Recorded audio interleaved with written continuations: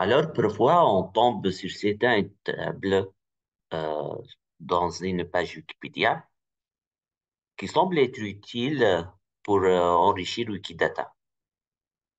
Parfois, on trouve des informations utiles dans quelques pages Wikipédia et le sujet des pages Wikipédia n'existe pas et ne sont pas représentés sur Wikidata.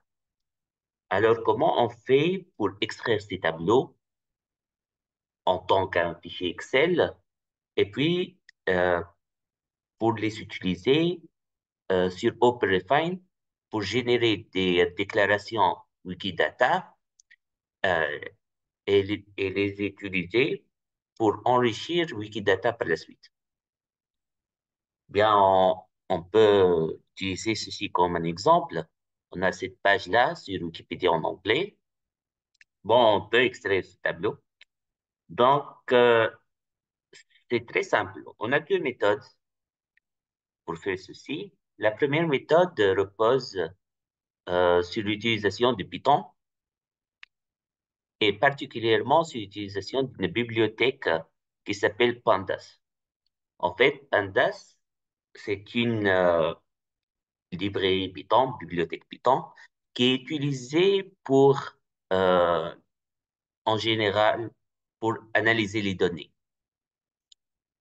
Et donc, ce qu'on va faire, c'est qu'on va importer cette bibliothèque Python et puis on va l'utiliser pour lire la page Wikipédia. Donc, cette page Wikipédia, c'est Tunisia at the 2024 Summer Olympics. Donc, on va juste la lire.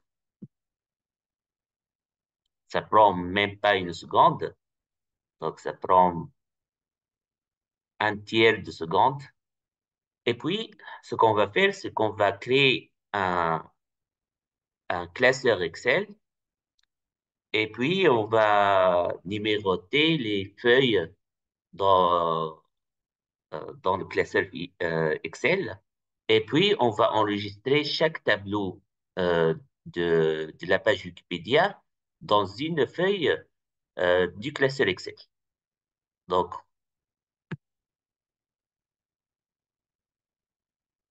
donc, on obtient un fichier Excel à la fin de, ce travail, géré automatiquement à partir de Wikipédia.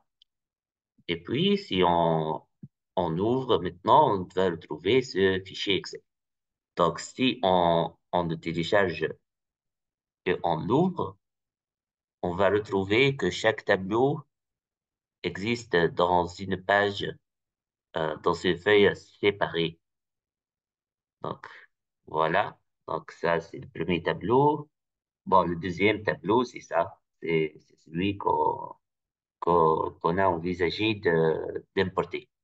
Donc, cette première méthode concerne ceux qui ont une certaine connaissance en matière de programmation. Mais pour ceux qui n'ont pas de connaissances en matière de programmation Python, on a une autre méthode qui est intéressante pour eux.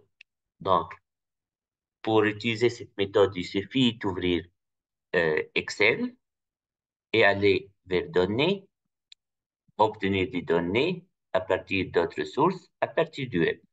Donc, on clique sur ça, ça s'ouvre, et puis on choisit de base, et puis on colle, on écrit l'URL de la page Wikipédia, on clique sur OK, et puis ce que Excel va faire, c'est qu'il va ouvrir le framework euh, .NET de Microsoft et va l'utiliser pour extraire les tableaux à partir euh, de la page. Donc, il a retrouvé un nombre de tableaux. Euh, donc, on va voir tableau pour tableau pour voir le tableau qu'on veut extraire. Et puis, lorsqu'on retrouve le tableau, on va, on juste le mettre dans une feuille séparée euh, du classeur Excel en, cours. Donc, disons qu'on retrouve, voilà, c'est ce, ce tableau. Alors, qu'est-ce qu'on va faire? On va cliquer directement sur charger et puis c'est collé dans, dans une feuille à part. Donc, on peut en- juste enregistrer le fichier et, et c'est tout.